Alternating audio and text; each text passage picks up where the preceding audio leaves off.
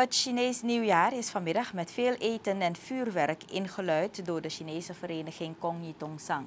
Het Chinese nieuwjaar wordt voor de vierde keer als nationale feestdag gevierd en staat dit jaar in het teken van de hond. De hond staat symbool voor trouw, vriendschap, eerlijkheid, waakzaamheid en betrouwbaarheid. Thomas Scheung, voorzitter van Sang, zegt dat de vereniging wat economische problemen had. Maar met de ondersteuning van alle bestuursleden, Chinese burgers en de Surinaamse regering hebben ze vele van deze problemen overwonnen. Ook hun dagblad en Chinese televisiestation hebben veranderingen ondergaan als gevolg van de crisis. Ondanks de moeilijke situatie heeft de vereniging de moed niet opgegeven, zegt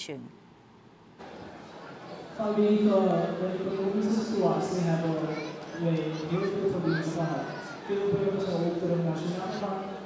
中文学校的学生也跟着减少。那个我们就是那个不是。但学校的教室们、同工们并有没有因为困难而放弃。我们是同心一致，努力找到最好的工作。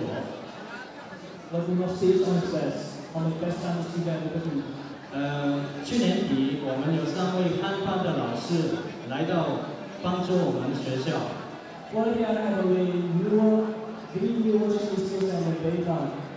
啊，希望在这个专业的人才这方面，他们能够帮帮助我们学校更进一步。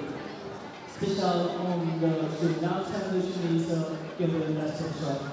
另外，我们在财力人力上积极帮助支持白莲花体育会。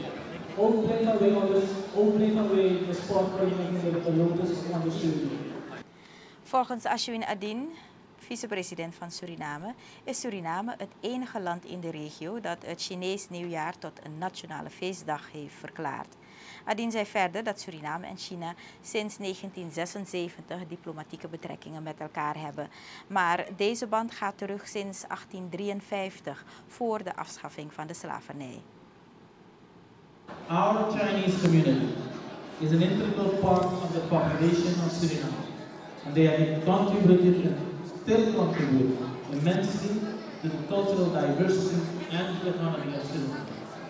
We are going through challenging times in Suriname, and as President Vargas has stated in his New Year's message, together we can prosper.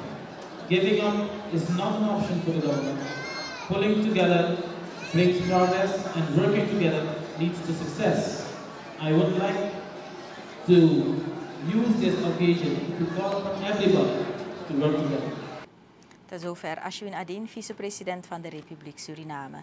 Hij sprak vanmiddag tijdens de viering van het Chinees nieuwjaar in Kong Tongsang aan de Dr. Sofie Redmondstraat. Dit jaar staat in het teken van de hond.